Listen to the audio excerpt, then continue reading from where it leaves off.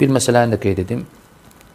Bu da çox saylı verilən suallardan da gördüyüm, e, müşahidə etdiyim məsələlərdəndir. Rəşad qardaş zövcə yoldaşım hicab bağlamır. E, namazlarda səhlənkardır, boşaya bilərəm. Qardaşım boşamağı cavab nədir? Belə suallar çox olur. Qardaşım boşamağı talaq vermək. Bunu saxla axıra. Məqsəd islahdır, məqsəd ifsad deyil. Məqsəd talaq deyil. Yəni izdivac siz ailə qurmusunuz, düzdür? Şeytanın hədəfi sizin ayrılmağınızdır. Sən boşayasan e, e, qadını.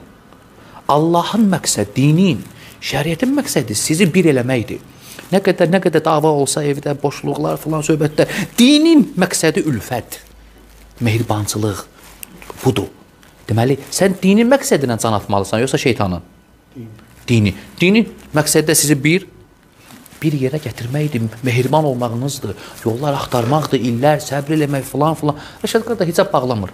Qardaşım, e, e, talaq vermək istəyirəm, artıq bezmişəm, e, bacarmır. E, biz deyirik ki, talaq ən axırdadır, yol yoxdur, vəssalam budur.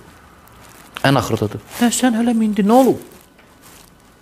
Yəni hər asiliyə görə hər asiliyə görə zövcə talaq verilib, tərk edilsəydi, gərək onda hamı zövcəsiz qalsın. Hamı talaq versin onda. O bir Şeyxülislam bir sözü var. E, səhvsiz qardaş axtarırsansa, gərək qardaşsız, gərək qardaşsız qalasan. Qardaşsız qalacaqsan.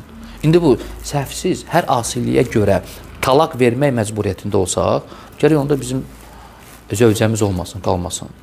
Qadın zəifdir, ola bilsin asil. Haçansı büdrüyür, axsayır. Qadındır da axı. Qadındır. Sözünə qulaq asmır. Sözə qulaq asmır, o asilikdir. Kişinin sözünə qulaq asmır, asili. Boşamaq həll deyil. Qadını boşamaq həll deyil. Həll e, deyil. Həll yəni çıxış yolu deyil. Şəriətin məqsədi deyil. Şeytanın ən böyük istəyidir. Sizi ayırsın. Ona görə insan səbirli olmalıdır özü ibadət eləməlidir, dua eləməlidir, sonra zövcəsini öyrətməlidir, uşaqları. Yəni bu məsələyə də gərək boşluq eləməyəsən axı. Mən mən belə nəsihət edirəm qardaşlarıma ki, talaq verməkdə tələsmək olmaz. Talaq verməkdə tələsmək olmaz. Düzdür. Talaq kişinin əlindədir, kişinin ixtiyarındadır. Allah subhanahu wa taala icazə verib rahatsan. Talaq verirsən. Nəsə olsa İstəsən verirsən. Lakin söhbət ondan gedir. Talaq nə vaxt verirsən? Niyə verirsən? Haçan verirsən? Səbəb nədir? Nə oldu? Bəli, sən verə bilərsən, amma verməyin yaxşıdır, yoxsa saxlamağın. Bunlar hamısı insan gərək bunları başa düşsün axı. Hər bir halda qadını ə, belə şeylərdə üstünə çox getmək, xüsusən indiki vaxt xüsusən də qadına biz deyirik ki, məqsədə uyğun, məqsədə uyğun deyil axı. Gözəl şəkildə. Yəni, Mütləq də. Bəli, bəli. Bir də dəvətin müddəti var. Məsələn 1 il, 2 il, 3 il eləyirsən, görsən alınmır. Yəni Bu da yaxşı sualdır. Nə qədər? yəni Nə qədər? müddəti var. Biz deyirik ki, qardaş, ölənə qədər. Axıra qədər. Dua ilə yanaşı, dua ilə yanaşı dəvət axıra qədər. Təbii ki, bunlar hamısı qardaşım, bizim dediyimiz ham, hamısı hardadır, hansı həddədir? Söhbət asili ilə, asilikdən, dindən çıxartmayan günahlardan gedirsə, söhbət küfrdən gedirsə, Allah qorusun.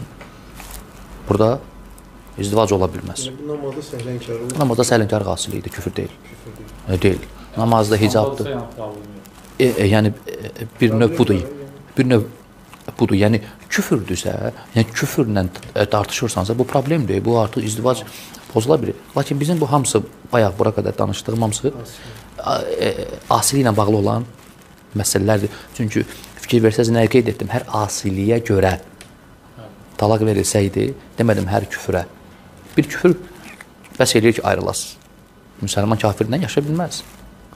Aydın daxı. Necə qadın elə də kişi. Elə də kişi izdivac e, e, e, nikah batıl olur. Lakin söhbət asilikdən gedirsə boşluq asili hamıda var. E, xüsusən indiki e, çağırışlar çoxdur. Şeylər çoxalıb, yəni e, günaha qapılar çoxalıb, meylənmə çoxalıb deyə indi gərək biraz başa düşəsən. Yəni Allah var.